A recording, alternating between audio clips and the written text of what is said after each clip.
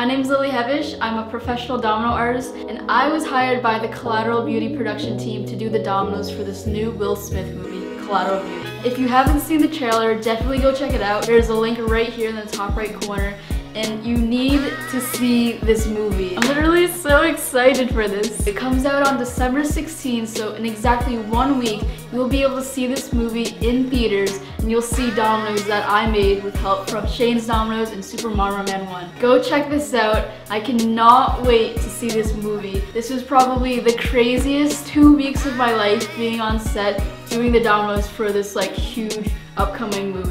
This is probably the biggest thing I will ever do in my life. Next week, I'm gonna be posting a behind the scenes video with all the stuff that I took of us on set, building the dominoes and putting together all the stuff to film it. Just like a little teaser to get you more hyped for the movie. And then the week after that, on Christmas Eve, I'm gonna be posting a video of the premiere in New York City and London. I'm gonna be walking the red carpet. Oh my god.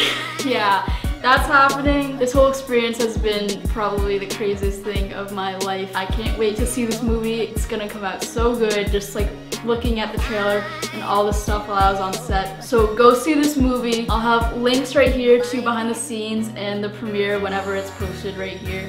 So go check it out. Thank you for watching. I'm Hevesh5 and I'll see you next Saturday.